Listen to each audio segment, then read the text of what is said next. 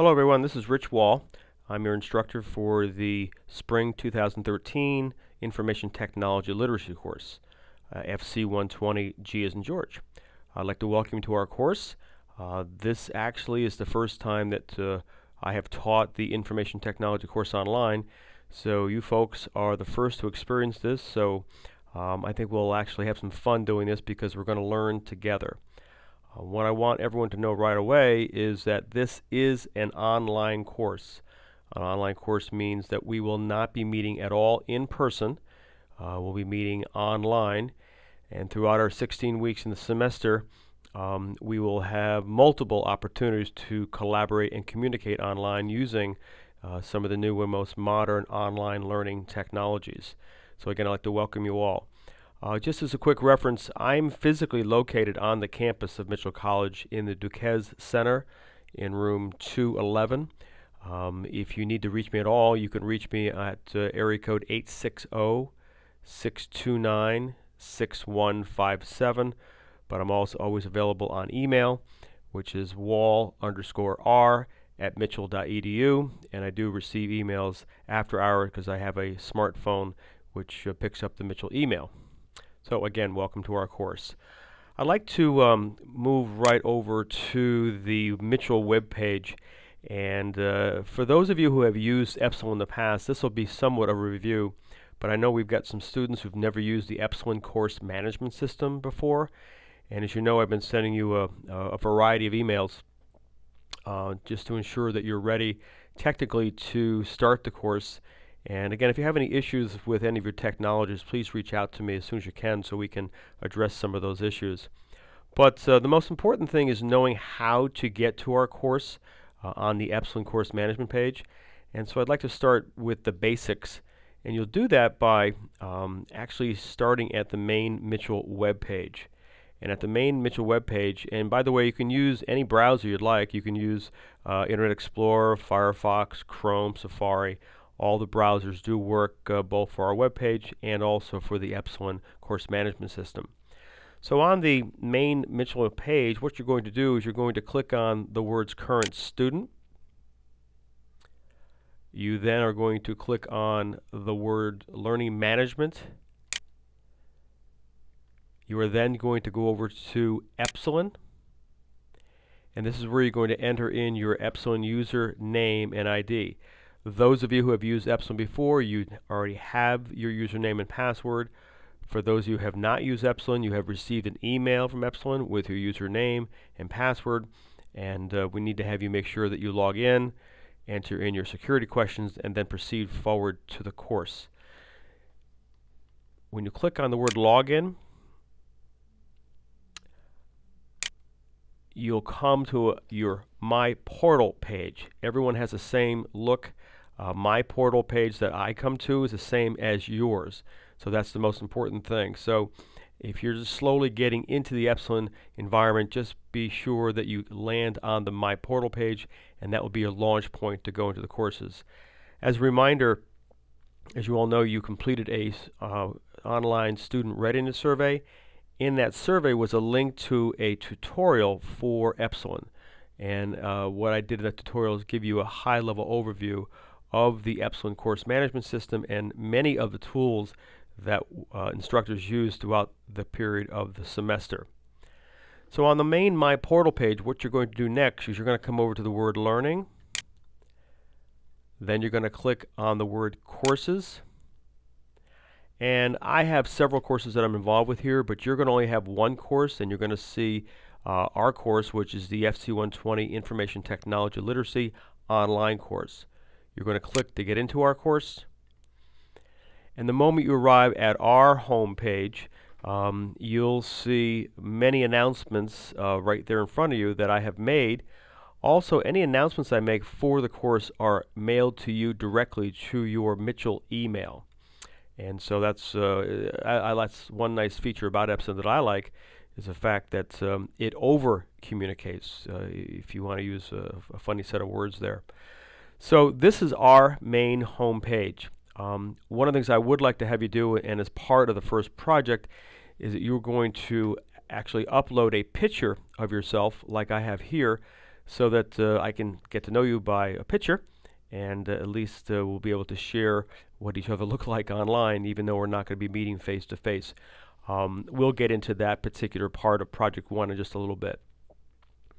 But our course is going to be using several of the functions of the main page here on the left side.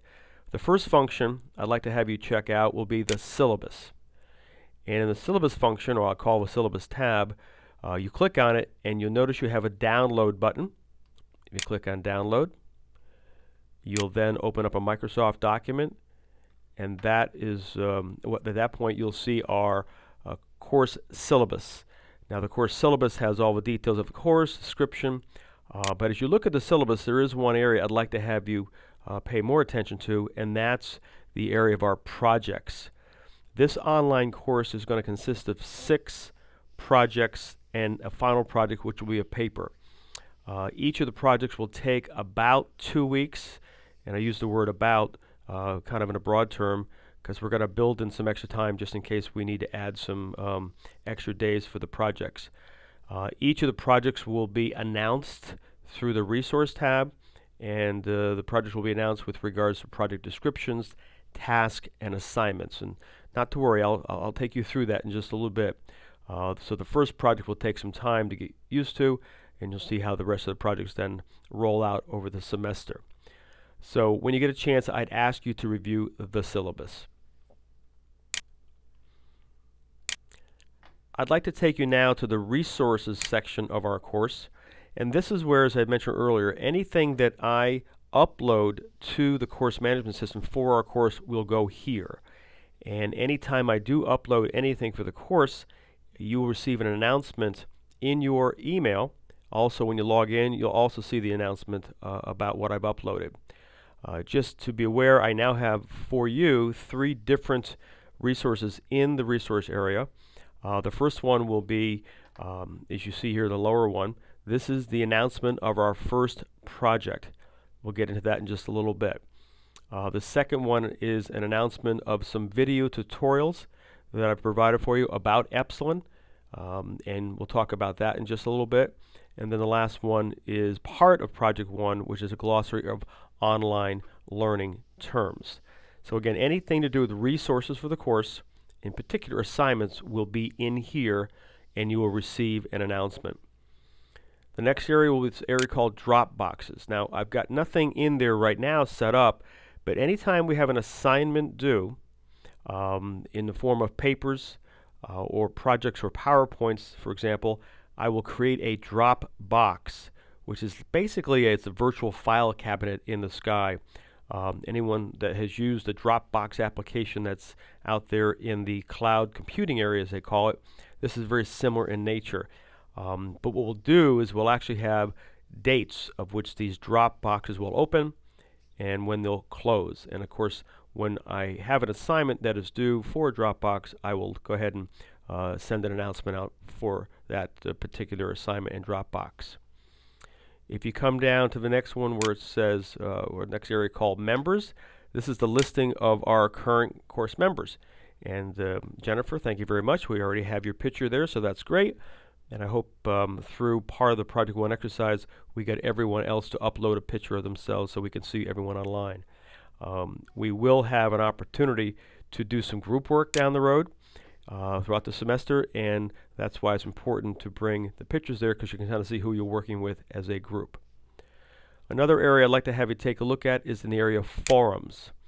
Um, and forums for our class will be that of a threaded discussion, different from a blog, different from a wiki, uh, different than from Twitter.